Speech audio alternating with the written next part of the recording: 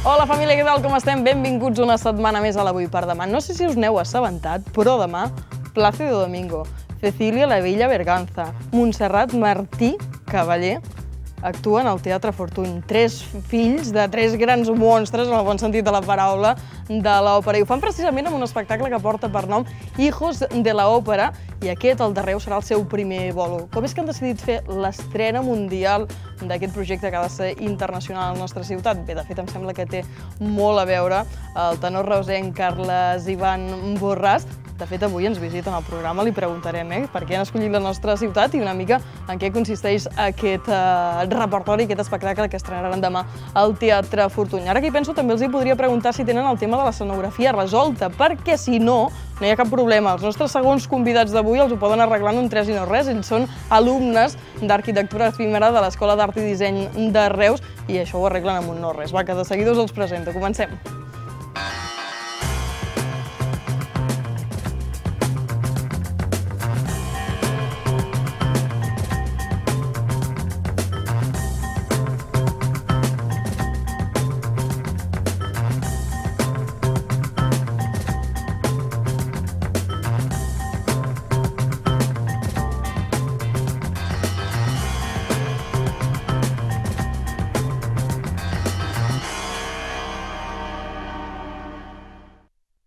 Teniu a l'agenda apuntat, és imprescindible que ho feu. Demà, 9 de la nit, Teatre Fortuny, Hijos de la Òpera, un espectacle que ens permet gaudir de les veus de, dels fills de Plácido Domingo, de la Teresa Berganza i de la...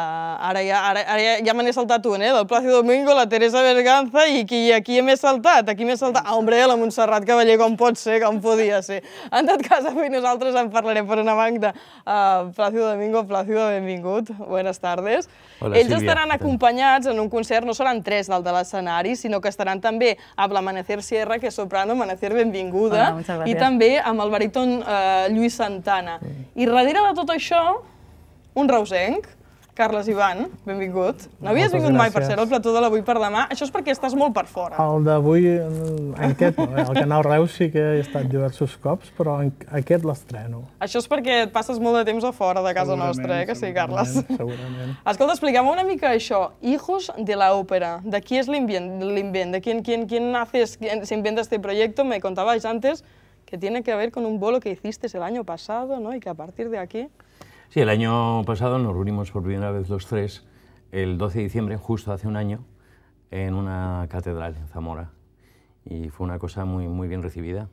Se esperaban solo 400, 500 personas y al final aparecieron 750 y, y estaba abarrotada la iglesia y fue muy interesante y era la primera vez que nos reuníamos pues, pues tres hijos de, de la ópera y obviamente también Amanecer y Luis Santana y fue un encuentro prácticamente pues eh, in- increíble, ¿no? Como si ¿Por nos qué hubiéramos nació aquello? conocido.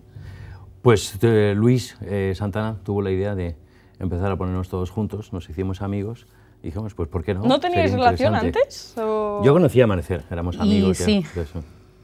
¿Y con eh, Montserrat, con Cecilia? eh, Yo la- las había conocido de pequeñas cuando sus madres eh, cantaban con mi padre. Entonces en alguna vacación coincidimos juntos. Por ejemplo, Montserrat hizo muchas funciones con mi padre. eh, Teresa cantó también en Edimburgo, en Escocia, una Carmen muy, muy famosa en el año 75, por ahí 76. Y obviamente pues yo a Cecilia la conocí, pero pues éramos, éramos críos, ¿no? Mm. A partir d'aquest projecte, eh, Carles, tu sents i dius ho exporto, acabem-ho de fer bé, fem Hijos de la Ópera o com va això? Uh, no és que ho senti. Uh, el Luis Santana, que ell Sí? comentava, és un gran amic meu, baríton, que també actuarà demà, uh, que ja ha actuat al Teatre Fortuny, per cert, i, i que, que li encanta. Uh, em va comentar que hi havia la possibilitat aquesta, que havien fet la prova i que estan pensant en fer uh, l'espectacle aquest de, de Hijos de la Òpera i em va comentar que que em semblaria de, de portar-ho a un teatre que li havia agradat tant com el Fortuny i començar aquí... Ah, o sigui que no és cosa de- teva, eh? Sí, És m'ho veritat que la ell- gent de ell- fora s'enamora del nostre teatre. Sí, això, això evidentment. Moltes vegades, a vegades no som conscients de, de les joies que tenim, no, no només el Fortuny, sinó el Bertrina, el voldrien moltes ciutats eh, que tenen temporada operística. i llavors el Luis m'ho va aguantar i, i jo mm, va coincidir que en aquest moment, a part de cantar, havia començat una, una aventura, diguem-ne, empresarial amb un bon amic meu, eh, que es diu Corso Iniciatives, per muntar precisament espectacles, per, per, per fer muntatges lírics, i em va semblar molt bé al ser Reus capital de, capital, de la capitalitat De la cultura, cultural, sí. de la cultura i això m'ha semblat molt adient i eh, encara més perquè mm, la Montse, la, la seva mare, la, la Montserrat Cavaller, va debutar el, el tant. 1955 aquí al Teatre Fortuny, va ser el seu debut professional i em va semblar un lloc pues, Rodó, privilegiat ¿no? i, i l'espectacle... No sé si Amanecer y Plácido eh, habíais visto ya el Teatro Fortún, ¿lo habéis visto hoy o aún no habéis ido o qué? Lo hemos visto por imágenes y Ah, estamos ahí. Yo de estoy momento, ¿eh? contentísima porque es una, es una cajita de bombones, es, es una preciosidad. Digo, así vosotros que... estáis que acostumbrados a ir a los mejores teatros del mundo, ¿no? No sé, No, no he tenido esa No suerte. tiene nada que envidiar. Tengo muchas, muchas ganas de verlo mañana. d'estar La en Reus. que- Clar, tens tres, cinc monstres, diguem, dalt de, dalt de l'escenari, tots dominen l'òpera a la perfecció, però cadascú amb els seus matisos, en el seu sector. Aleshores, no sé com casa tot això, ¿no? A nivel de repertorio, cómo lo hacéis, eh, cómo habéis escogido los temas para, para sentiros cómodos todos en, en el escenario. Com ha això? Hombre, básicamente es, va, en- va en base a lo que cada uno sabe cantar y lo que son sus facultades. Yo no me considero un cantante lírico, tengo la técnica y todo eso, pero yo canto muchos eh, boleros, tangos, músicas de películas, al máximo un, un poco de zarzuela y... Entonces, quizá- ¿qué hacéis? ¿Un tema cada uno? ¿Lo hacéis to- o, uno sea...? Habrá arias, habrá duetos y, y obviamente también algún número coral donde estamos todos juntos. ¿Qué repertorio escucharemos mañana cuando de todo, vamos a escuchar desde zarzuela, de la, la ópera más clásica, hasta musicales, boleros y luego, pues obviamente por las fechas en las que estamos, villancicos. Un poco de Villancicos, Navidad. Sí, sí, ¿no? pero está- Sí. cantamos todos con todos, nos atrevemos todos a cantar un poquitito de todo y, y es eh, sobre todo muy divertido. ¿Es el mismo repertorio con, con el que luego haréis gira o lo iréis cambiando un poco en función? Eh, básicamente es, es- es un espectáculo además diseñado para, para esta mezcla y para este, tras- o sea, para este viaje de géneros y normalmente es, pa- es- si no es el mismo es muy parecido, o sea, tiene más o menos la misma línea. El tema navideño. El tema navideño solo de ahora. En agosto no va a quedar muy bien. En agosto, no, en agosto no. los villancicos los- no estarán, obviamente. Además, és, és molt fàcil que s'ajuntin en un escenari perquè, a més de cantants molt excel·lents, cantants i artistes, són molt bons músics. El Plácido és un excel·lent compositor, un compo de, de musicals impressionant, és un productor musical boníssim, tots els altres són grans músics, llavors pues, quan hi ha gent tan bona, eh, de seguida es posen, es posen d'acord molt fàcilment. Escolta, que este es, este es un espectáculo, el nombre ya lo dice, Hijos de la Ópera, con lo cual ya estáis haciendo homenaje a vuestros padres. Bueno, en tu caso, Amanecer no. Tu Bueno, padre y tu pero madre yo no, soy pero hija de la ópera también. no sé cómo se lleva eso de ser hijo de. Quiero decir que con una carrera como la tuya, Plácido, aún ser hijo de, no sé si joroba un poco o, o al contrario, es motivo de orgullo porque... Yo lo, porque- lo veo, desde luego, como una coincidencia biológica, primero que nada. Cantamos cosas muy distintas. Él, eh, yo lo admiro muchísimo a él, he aprendido mucho de él. Y él siempre me dice que hay ciertas cosas que canto yo que, que- que él no cantaría, ¿entiendes? Entonces, entre él y yo nunca ha habido ningún problema. O sea, es más la gente que crea ciertas expectativas y cosas, ¿no? Quiero decir, Y- no, seguro que te has escuchado mil veces, claro, porque si no fuera hijo de, ¿no? No estaría donde está, ¿no? Pues hombre, la verdad es que Pues- es, es tan distinto lo que hago y todo eso que prefiero ganarme el público a mi manera y hacer las cosas eh, lo mejor que sepa, ¿no? ¿Os critican? ¿Tenéis los padres allí? "Mm, esto no me está gustando mucho, Plácido, ¿o qué? Hombre, mi padre de vez en cuando, si, si piensa que algo lo podía haber hecho mejor, sin duda me lo dice, ¿no? Además he cantado con él en varios conciertos ya, así que si hay alguna cosita que, en la que me pueda aconsejar o ayudar, pues lo, lo agradezco mucho. Los padres de Amanecer también pendientes ¿eh? de lo que estás Sí, haciendo. mi, mi- mi abuela, sobre todo mi abuela, mi abuela está muy pendiente. de todo, de todo el que haces. Pues això, 9 de la nit, demà, al Teatre Fortuny podrem veure un gran espectacle que després té intenció de, de girar. Yo no sé si teniendo unas agendas tan apretadas como tenéis todos, porque tú hoy has llegado de Roma hoy mismo, me Sí, parece. llegué esta mañana, sí. Amanecer vienes de, De València, València, eh, la Montserrat, no sé, i la Cecília també deuen tenir una agenda... Ni ho sé, Ni ho saps d'on venen, no? Ho dic perquè amb una agenda tan tan apretada, jo no sé... Evidentment, artistes de tan primera fila i, hi ha el Plácido, com la Montse, com, com la Cecília, com la Manefer, com el Luis, doncs la dificultat està precisament en, en trobar aquestes dates. I com es fa això? Ja teniu la gira tancada o anirem improvisant una mica sobre la marxa? Bueno, s'haurà d'anar veient eh, sobre la marxa, però hi ha coses ja bastant... Ja Me'n podeu xivar alguna, no? Uh, la, hi, ha, hi ha una cosa, ja sé que no està de moda ara, però és que hi ha, hi ha dues coses al, al, al món de l'edició, que, que les coses que no estan, diguem, millor no dir-les. Que vols dir que no, no, no xivaràs res, eh? Sí, més... No, és a dir, que no n'hi ha cap bolo que diguis ja el tinc lligat i ja el puc sí, anunciar. Sí, sí, però, uh, mm. hi ha altres... Ja, ja, uh, no, no, uh, quan toqui ja, ja, ja, ho, ja, ja, ja ho direm. En tot cas, Teatre Fortuny, demà a la nit, 9 del vespre, no us ho podeu perdre. Hijos eh, de l'òpera. Per mi ha estat un plaer que ens hagueu acompanyat, que hagueu tingut l'atenció de venir aquí al plató de l'Avui per demà. Estarem pendents demà al Teatre Fortuny d'aquesta estrena, que estic convençuda que serà un èxit amb vosaltres a l'escenari. Per cert, que jo m'estava preguntant, el tema d'escenografia el tenim controlat o no? Sí, Tenim escenografia sí, però de si l'espectacle? no, si no sabem que aquí hi ha Digo- gent molt preparada. Ja, aquí, aquí has estat bé, Carles. Ho dic perquè has estat pendent de la segona entrevista, per si et falta algun retoquet, segur que ho acabarem de- d'arreglar. Gràcies per venir, que vagi molt bé. Gràcies, I estarem Sílvia. atents d'aquest espectacle. Gràcies. Èxits en la vostra gira, que vagi molt bé. Molt bé. Precisament d'això, els alumnes de l'Escola d'Art i Disseny els poden ajudar, doncs ara els coneixem.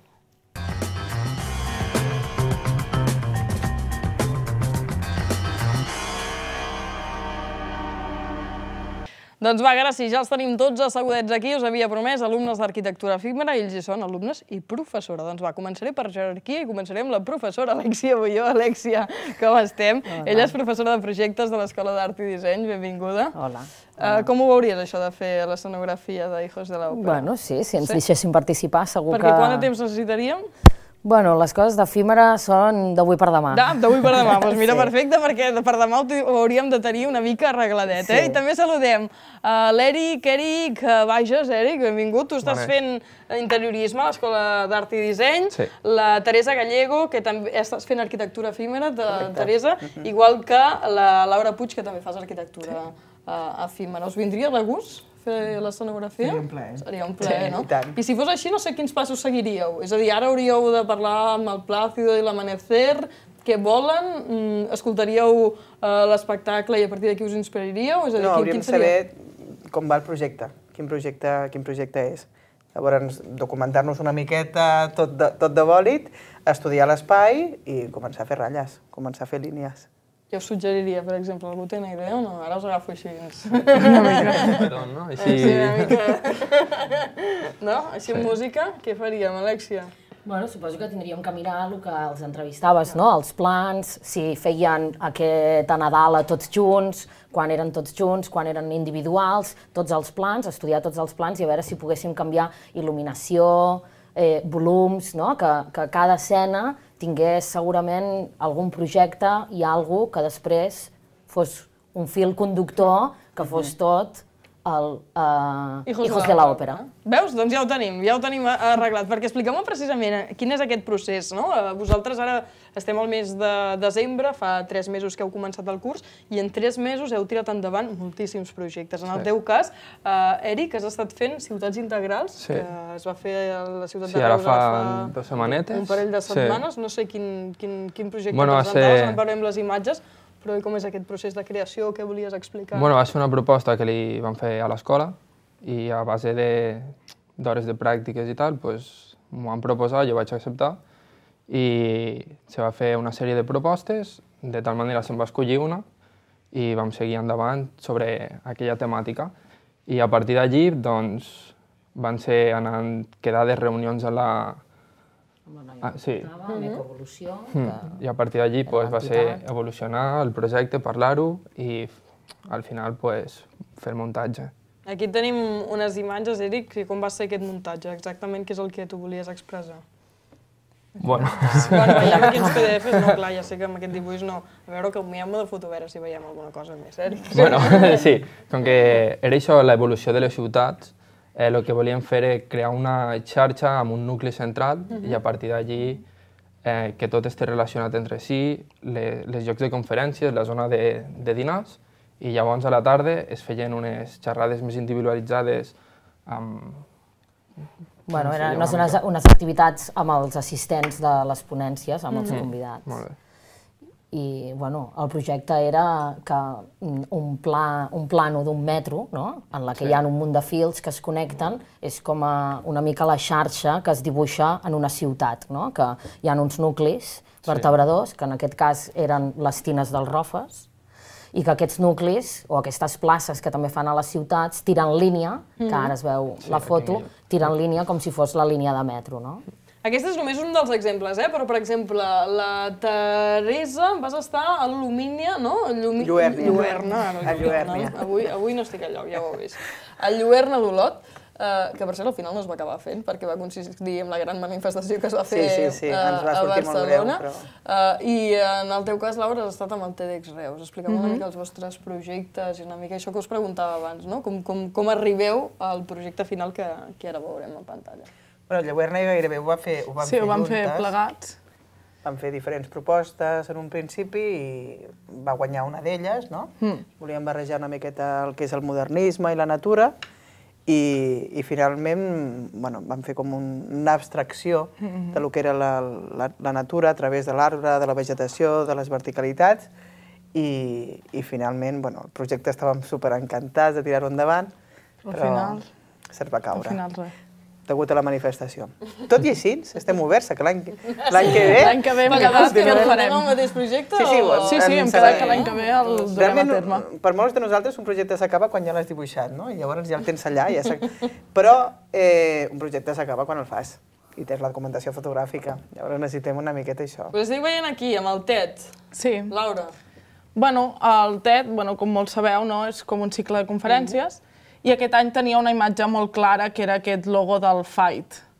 I llavors, doncs, el que, el que vam treballar va ser com aquest tema de lluita, no? representar la lluita, que en aquest cas les conferències tractaven sobre una lluita més social, però el que trobàvem més representatiu d'aquest tema de lluita era un ring de boxejar. I llavors, bueno, amb diferents propostes que van anar evolucionant per temes d'escenaris i la posta en escena, com si diguem, mm. doncs al final vam acabar fent com aquesta representació d'un ring on també penjava un micro que ajudava tot a tindre com una escenografia representativa de, de l'ambient que és com el, el boxeig i aquest ambient de lluita. Escolta, ara estava pensant jo, no sé si, clar, tu penses aquest projecte i poses tot l'amor del món i et dura pues, el TED un dia, no? Sí. No sé si això sap una mica de greu o ja forma part bueno, de la teva feina. ja forma part de la feina. És a dir, és el moment. Tu vius tot el que és la gala i sí que després has de desmuntar, però després tens tota la documentació, tens els vídeos, tens les fotos de tot, i això et recompensa. Què us agrada a vosaltres d'aquesta feina? És a dir, per què us heu apuntat o a arquitectura efímera o a interiorisme? Jo, per exemple, venia molt feta a fer Pidot, era una cosa que tenia claríssima. Pidot, traduïm Pidot per Pidot. reusencs de reusencs. projectes i direcció d'obra, però finalment estic, he començat a efímera ara, fa tres mesos que portem de curs i estic encantada, perquè és un ventall molt ampli de- d'oportunitats i de deixar- deixar-te anar i de ser creatiu. Una miqueta més capidot, no? Capidot és més tècnic i tal. Uh, en el cas d'efímera pots volar. Deixar-hi anar, eh? És això, Sí, sí. Eric? Sí, sí, està Com t'imagines tu d'aquí, un- no sé ara quants anys tens, eh? però d'aquí dos, tres, quatre anys, eh, quan hagis de sortir al mercat laboral? Si pogués ser a un estudi d'arquitectes. En un estudi d'arquitectes. La Laura? Com la posaria? Bueno, també. També? Podria ser, o si no, per exemple, en aquest cas del TED, he trobat que les scenografies de teatres i aquestes coses també són molt guais. A mi aquesta part em sembla molt xula, eh? Jo no estic en aquest moment, no ho descarto, no ho descarto, perquè el periodisme i la comunicació van molt lligada amb la feina que fan a l'escola d'art i disseny, però em sembla una feina molt xula. Teresa, tu? Bueno, sí, a mi m'agrada qualsevol tipus de cosa que puguis posar cullerada, eh? Qualsevol... quan reps una trucada i te poses de seguida a fer ratlles o a fer dibuixos, a... no sé, eh, ara estem aquí, eh, segur que ja tenim alguna idea de fer-te una intervenció, fer-te... Eh? Ah, mira, mira, per això m'ho havies d'explicar. Eh? Abans eh, en parlàvem amb, amb l'Alexia. Aquest plató qui l'ha fet? Uh, un exalumne de l'escola, bueno, perquè efímera és això, no? que, que és Aquest no, sé, no ha dissenyar... estat efímera, eh? Que portem ja... Ja, sí, no ha sigut gaire, sí, ja no és una efímer. efímera una mica més llarg de lo normal, no? Però sí, bueno, té, uh, efímera, el que, dona, el que dona els estudis d'efímera és un ventall això com molt atractiu en el que pots intervenir en molts espais, mm -hmm. perquè en tots els espais en els que vivim està dissenyat per algú, no? És un espai tridimensional el que nosaltres vivim, no és un espai pla, no? no és un gràfic pla, és un espai tridimensional i qualsevol espai d'aquests en tots els moments del dia nosaltres estem vivint en un espai que ha d'estar dissenyat, encara que sigui només per un, per un moment o per una circumstància. De fet, en aquest, uh, en aquest uh, plató, si tiren eh, enrere, això, això és cartró, ens van fer, però ens dona molt pego, o sigui, miren la taula, Aquí sí, tenim, de tubs doncs, de PVC. Tenim tubs de PVC, no? Al final és agafar les eines que teniu, no? Els materials que vosaltres teniu a l'abast i acabar construint, doncs, en aquest cas, un plató de televisió o una escenografia de teatre, com ens deia uh, la Laura. A nivell de sortida laboral, Alexia, com ho bueno, tenim? Jo penso que sí que n'hi ha moltíssima de sortida laboral. El que... Mm, hi ha moltíssima sortida laboral, el que passa és que no hi ha empreses especialitzades eh, que es dediquin única i exclusivament a fer intervencions efímeres, Ja. d'arquitectura efímera. Com deia l'Eric, doncs en estudis d'arquitectura en el que no només fan eh, arquitectura tradicional d'edificis de nova planta o de reformes i d'estructures i d'arquitect- d'arquitectura eh, més tradicional, sinó que eh, dintre de l'arquitectura tot és tridimensional i pots fer una exposició i tots els elements expositius també són uns volums tridimensionals a una altra escala. Llavors, eh, si ara ens està veient, no sé, un botiguer i es vol fer un aparador meravellós i estupendo, També i us vol contractar, eh, com, També fem aparadors de la Nadal, via, no? No sé si la via és anar a l'escola d'art, per exemple, o... Bueno, hi ha alguns aparadors de Nadal que tradicionalment els fem a l'escola com a pràctiques, perquè dintre dels estudis hi ha, hi ha un, un, eh, un apartat de, de pràctiques també per acabar els estudis. Però, bueno, sí, també eh, fem aparadors i el client eh, sempre pot ser un client molt divers. Mm, mm, això, comerciants de Reus, eh, eh, companyies de teatre... Suposo que deu Ah. ser molt xulo, no?, enfrontar-te... Vull dir, dèiem, no?, tres mesos, ja tots heu fet projectes cadascú de vosaltres, ha de ser molt xulo dir, bé, més enllà de la teoria, que sempre està molt bé, poder aplicar a la pràctica, no?, el que, Sí, el sí, que te, esteu te estudiant, satisfà veure el teu projecte realitzat, sobretot perquè si el deixes apartat, com abans deia la Teresa, de que tu el dibuixes i el fas, Clar. i es queda allí apartat ja, és com... Però veure el realitzat és molt Després et satisfactori. Cau, després veus l'escenari del Bertrina i us cau la bava, no?, la, Laura. No són els únics, eh, l'Escola d'Art i Disseny. De fet, eh, la majoria d'estudis, o tots els estudis, diria jo, m'atreviria a dir, Alexia, tu m'ho diràs millor, eh, la pràctica a l'Escola d'Art i Disseny de Reus, de la Diputació de Tarragona, és importantíssima, feu molt d'èmfasi. De fet, nosaltres ahir vam visitar un altre cicle, en aquest cas el d'infografia 3D, i els hi vam demanar que ens expliquessin el projecte final que estan fent. Déu-n'hi-do que hi ha idees molt interessants, si us sembla, escoltem-los.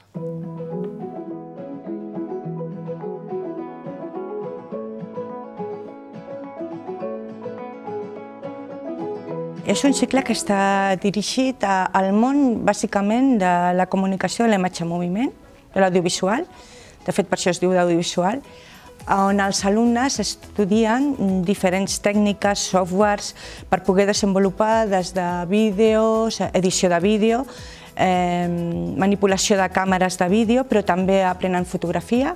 I també està hi ha un especial carinyo, èmfasi amb el 3D, òbviament, amb, amb, el, amb el programa de 3D i la realització de, de projectes i de productes en 3D. Soc arquitecte, soc de Mèxic i bueno, m'he apuntat a aquests, a aquests estudis perquè m'agrada- volia aprofundir més en els temes de com explicar els projectes arquitectònics. Jo em vaig interessar eh, per aquest curs bàsicament perquè m'agrada molt l'audiovisual, la fotografia i bueno, tot aquest món. No? Fem moltes coses, no ens, no ens centrem només en el 3D o només en la infografia, també toquem molta fotografia, sobretot en el primer curs.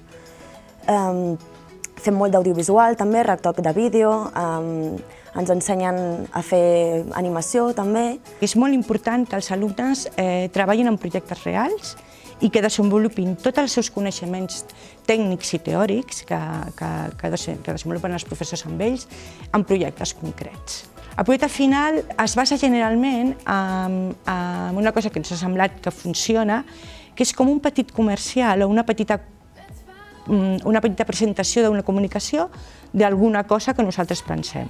L'any passat els vam donar l'opció de treballar sobre la presentació d'algun objecte que tenia algun tipus d'innovació que, que ells venien al mercat. Un dels nostres estudiants, el Demian Turkan, que era un dels nostres estudiants molt avançats amb el 3D, que, li, que, que era un, li encantava, un crac del 3D, no? I ell, a més, és un gran... Eh, juga molt a videojocs. I la seva obsessió era fer un teclat per a, per a, de videogame, o sigui, un teclat especial per a videojugadors de, que, de les que ell pensava que faltaven coses quan ell està jugant. En aquests moments, enguany, estan eh, treballant eh, en un projecte sobre alguna cosa que tenen que ensenyar uh, al món, que és un, és un objecte que es desmunta i tenen que explicar com l'usuari el pot muntar. El tema del projecte final, eh, bueno, com tots al principi portava un cacau mental i dic, mm, no sé, quin, quin, quin producte fer, no? que m'atraigui realment a mi, algo que a mi m'interessi per poder treballar cada dia i que tingui ganes i passió i bueno, vaig començar amb, amb un producte, no em va acabar agradant i realment m'ho vaig portar al meu terreny, però el meu terreny al 100%. A mi el tema de, de, de fer de pagesa m'encanta. Llavors, eh, el meu producte el, el porto a aquest terreny, que és, bueno, eh, és un, un mini cultiu que pots tenir en un interior, així la gent que viu en ciutats pot tenir el seu petit hort a dins de casa. El meu projecte final, que bueno, està en procés, es tracta d'un escenari, és un escenari desmuntable que està pensat per una plaça d'aquí de Reus, del barri Fortuny. El projecte és, és un escenari vale, que bueno, és per, per espectacles eh, eh, escènics, teatrals o musicals, i que quan els desmunti es converteixen en els bancs, no? el mobiliari urbà de la plaça que serveixi també com a, una mica com organitzador de l'espai, que es pugui replantejar la vegetació que n'hi ha i els fluxos de gent que, que hi passen, doncs, que, que fos com un pretext també per eh, redissenyar o, o reutilitzar la, la plaça. Doncs ja avui, avui ens hem volgut colar una mica a les aules de l'Escola d'Art i Disseny de Reus, de la Diputació de Tarragona. Eh, diríeu als espectadors que ens estan veient que s'apuntin eh, a ser companys tant, vostres? Sí? sí, I a més, sí. independentment de, de l'edat que tinguin, vull dir, sí, sí, s'ho passarien molt bé, això per començar. Com a mínim, passar-vos-ho bé té tota la pinta que us ho passeu, Eric. Eh? Passem, sí, això és sí. important. Escolta, jo us agraeixo molt que hagueu vingut aquesta tarda a l'Avui per demà, us desitjo molts èxits i ja anés-ho pensant en algun retoquet pel plató, si voleu, ho podem anar treballant també. Família, nosaltres ho deixem aquí. Ja saben que ens tornem a trobar demà, amb més avui per demà. Bona nit, que vagi molt bé.